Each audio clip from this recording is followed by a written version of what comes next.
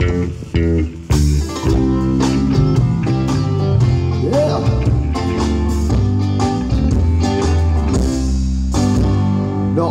ako ay bata pa Paborito kong laro ay bahay-bahayan.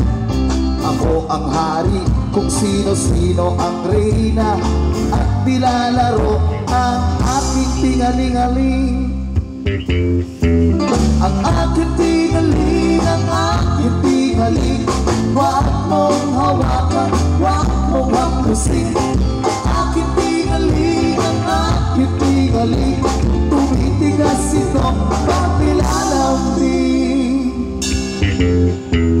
Ngayon ako'y nag-aaral na Upang matuto ng magagatang asal.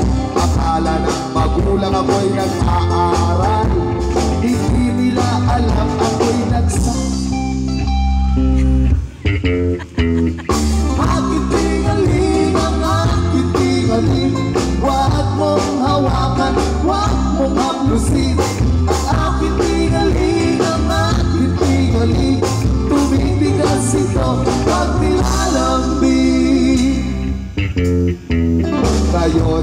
ako'y binata na. Ang aking tingaling may bisyo na.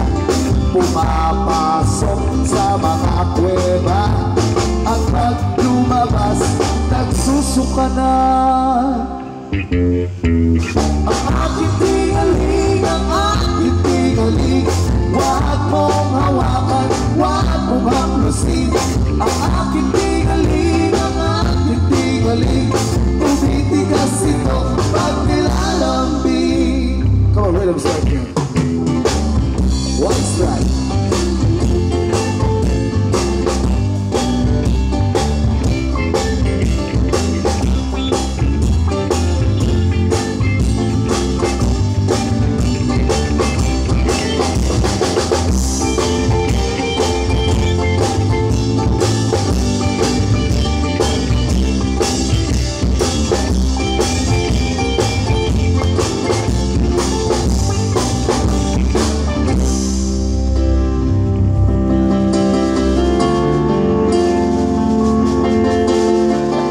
yun.